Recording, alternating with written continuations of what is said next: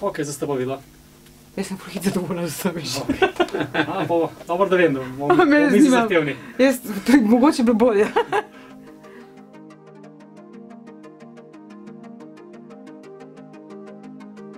Živijo sem Jasmina Hrastovec, prihajam iz Kamnika, stara sem 45 let oziroma bom čez en mesec. Zaposlena sem v IT podjetju kot administrativni tehnik, sem pomoč v administraciji. Uh, veganka sem postala leta 2013, eh, vendar dejansko sem besedo veganka uporabila v svojem življenju 2014, ko sem odprla tudi blog Minči Kuha.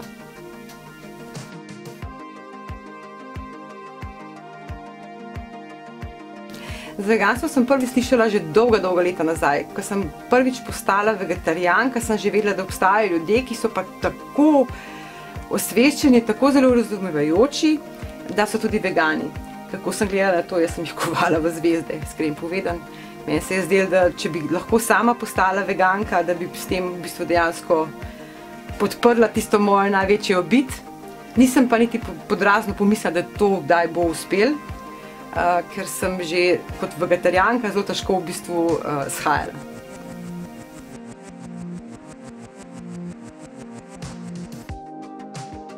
Najprej bi rada sem to povedala, da najprej sem v bistvu tako postala vegetarijanka, ko sem bila prvič pri zakolu bika. Ta zadeva je pri meni naredila res en tak zelo velik premik, živela sem na um, kmetiji.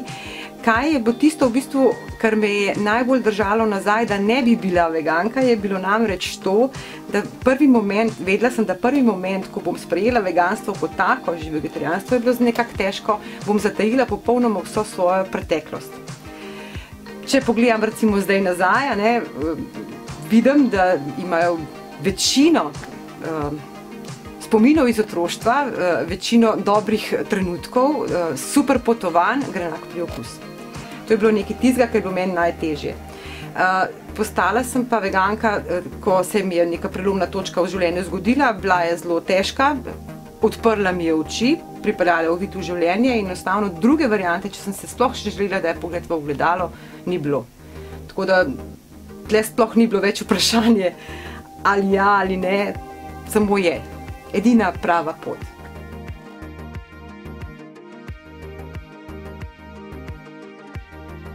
Uh, klik je pa bilo po tri leta po uh, zgodbi z uh, sinom, mrtvorejenim sinom, ko sem sedela uh, na kavču, objokovala to žalost, me je se takrat res mešalo, dobesedno sem bila dejansko tudi uh, zrela za opole. Um, pila sem kakav uh, in prešinil me je, ne vem, vem, zakaj sem do tega prišla. No, v, bistvu, v, v glavi mi je prešinil, da tisti kakav v bistvu je nektar želujočih mater. In od takrat naprej sploh ni bilo več vprašanje. Vprašanje, ali, ali sem, ali bom, ali kakorkoli veganka, to je bilo to.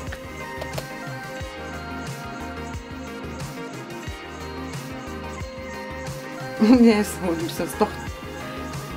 Ne. Ne, ni, ni možnosti, nobene variante ni. Eh, Že zaradi tega, ne, prvič živim v Sloveniji, dobro, da pustimo to varianto, če me kdo postavi med, med skime. Tle v tej opciji tudi ne razmišljam, ne, dobro, na nekem uh, samotnem otoku z neko kravo se najverjetneje tudi ne bom znašla, ker najbrž ta krava, uh, predvsem predvidevam, da bo tudi nekaj mogla jesti. Uh, tako da z tega vidika tudi najbrž ne. Vseh špekulativnih opcij, ki sem jih do zdaj v svoji glavi včasih tako recimo premlevala, kadar sem odgovarjala na vprašanja uh, ljudi, uh, so ljudi, je odgovor je samo, to je edina pot.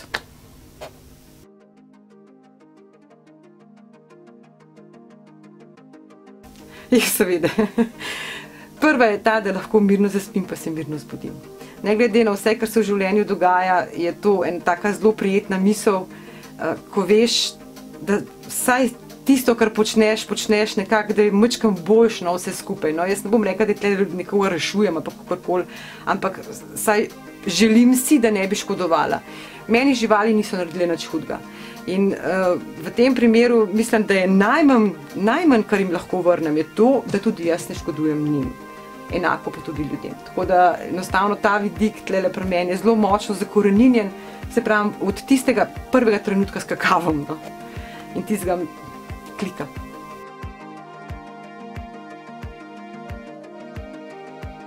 Uh, zdravstvenih težav, v bistvu tako bom rekla. Jaz v bistvu živim z zdravstvenimi težavami, že od mečkanga. Začele so se v zelo, zelo majhnem otroštvu, to v bistvu je bilo najprej naj bi bil nek meningitis, ki to seveda ni bil, kasneje se je skazalo, da je borelioza, potem je bil tumor, v glavnem sklop, ogromne zadev. Um, poleg uh, vseh operativnih posegov in vsega skupaj. Uh, se je najbolj, najbolj pomemben je bilo to, no, v bistvu, kar sem videla že po enem letu, prvo leto niti njeno. Po enem letu se je pa zadeva začela zelo spreminjati. Prvo, kot je telo se je veliko bolj formiralo. To je pri meni zelo pomembno, ker imam tudi težave s fibromialgijo, no, neko kronično neznosno bolečino. Uh, in v tem primeru je zelo pomemben, da je človek uh, fizično uh, dobro um, sestavljen, bom tako rekla, no, v bistvu, ker telo se enostavno na novo postavi. Uh, ampak po enem letu. Prej nisem pa čutila čisto nobenih sprememb. Najbolj pomembna sprememba pa seveda absolutno je psihološka sprememba, uh, vidik na življenje, um, um, zadeve, kako se pač spremenijo, bom rekla, uh, pomembne zadeve v življenju, uh, kako se določene stvari razblinijo, kako visoko leteče postanejo druge želje.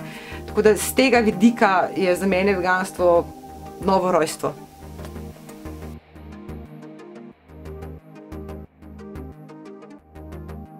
Uh, mož je rekel, da je bilo vprašanje časa, ker on je to vedel, no, v bistvu, že se pravi, mislim, prej vegetarijanka, spet, spet začela jesti meso, vmes, eh, dober izgovor sem imela zdravstvene težave, meni so rekli, da so s tem povezane, ker se vidi, da sploh ni bilo res, to je ta lapsus. Um, potem pa se res samo še vprašanje časa. Iz, iz tistega trenutka naprej se je to pač začelo, on je to lepo sprejel in se je prepustil toku. Um, tako da pri nama doma je veganstvo. Uh, družine, spet enak odgovor, smo vedeli, to je bilo samo vprašanje časa. Dedek, enak odgovor, to je bilo samo vprašanje časa. Da, jaz, ko sem živela na kmetiji, jaz sem imela strašne travme z, te, z tega vidika, ker je bilo res težko gledati, no, v bistvu, kako jemljajo življenje mojim prijateljem uh, ki smo ga pač prisostvovali, ne na kmetijah, pač to tako je. In ti jih potem še postrežejo na krožniku, seveda z neko tako, takim povabilom, no vidiš, da imamo pa domače, to bo pa da je pa res dobro. Ne? In moram reči, da sem ta, bom le, že na meji šizofren boj bila zelo dolg časa med tem, kako imaš nekoga rad in ki ta dvigne roko nad drugega, ki ga imaš rad.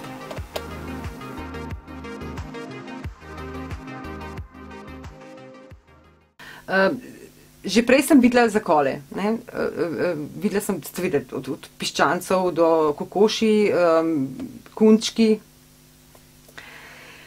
Uh, pri biku je bila zadeva res zelo kruta takrat, no? v bistvu vse vsaka smrt je kruta. Ne? Ampak um, ne bom pozabila, ker je bik stopil ven iz štale, prvič je bil zunaj štale in kako je zadihal ti zrak. On je glavo dvignil, ropotalje, no, v bistvu po pljučih je ropotal zrak, ki ga je vdihnil. Uh, v tistem trenutku bil, imel je zvezane noge z kitnami, v tistem trenutku so mu čez glavo vrgli uh, deko in ta prvi trenutek je seveda bilo takoj po glavi zmecolo. Začeli so kričati, ni klecnil, ni klecnil, začeli so mu hoteli samo noge spodnesti, ni klecnil, ni klecnil in potem so začeli samo še to od vseh koncev v bistvu in tudi skerone. Um, preden je v bistvu sploh do dobra klecno, je bil že dvorišče kar precej krval, uh, dela so se mu mahučki krvi na uh, nosu. Prej so mu prerezali vrat, je dal že za sabo kar eno fajn muko, ko so ga obesili okrog, ko se je vrat prerezal, so gospodje spili šilce žganja, da so se malo pogumili, pa so bili tako zelo trujeni nad tem delom. Ne, uh, in ne povem, ko so ga začeli rezati, se je še trzal.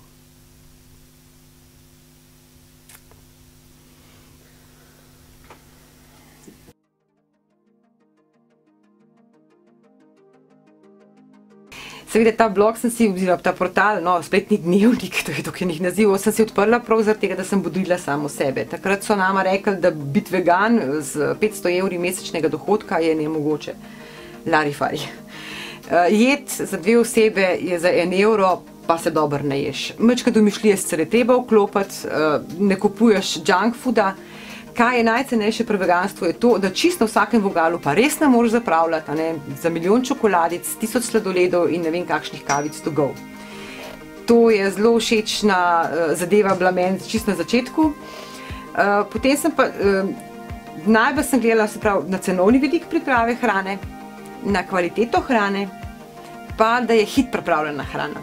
Ne maram komplicirati zadeve morajo biti preproste, pa tudi take, da so mogoče mačken pa še le vedno navezane na moje otroštvo. No? Vedno omenjam štruklje, no meni so štruklje nekaj tako najboljšega in je toliko variacij se jih lahko naredi, da je to res en tak eh, zelo prijeten obrok.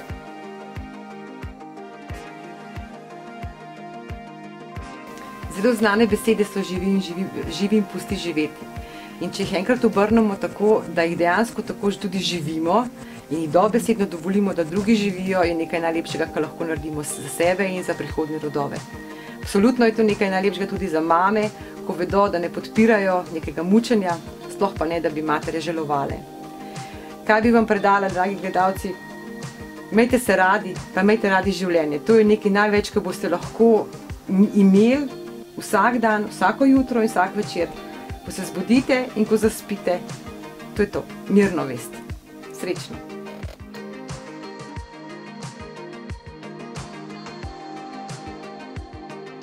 Ja, šizofren boje.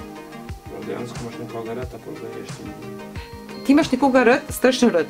Pomeni ti, um, pomeni ti v bistvu preživetje, ne? recimo dedek, starši ne? in tako naprej. To so tvoji zaupniki, to so ljudje, katerim verjameš. In če oni dvignejo roko na tvojega prijatelja, ti pač zdaj to nekako si mogel preživeti, ker so to naredili ti ljudje, ki jim ti res zaupaš.